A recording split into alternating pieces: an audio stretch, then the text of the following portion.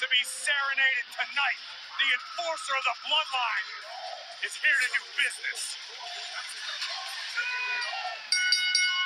The following is a Music City Street Fight!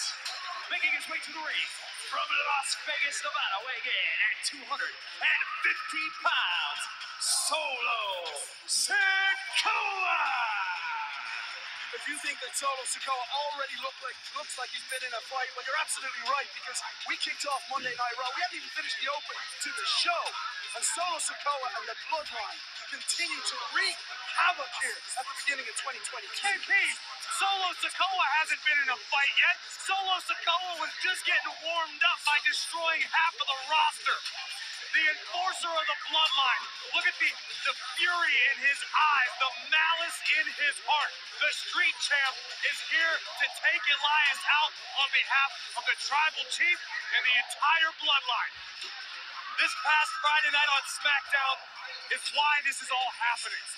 Roman Reigns and Sami Zayn were defeated in tag team action by Kevin Owens and John Cena. What we are seeing tonight is the fallout.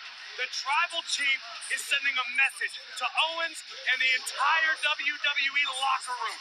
You do not mess with the bloodline.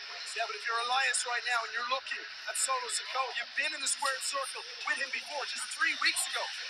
Solo, with an emphatic victory on that occasion. Well, you know what the definition of insanity is, don't you, KP? Trying the same thing over and over.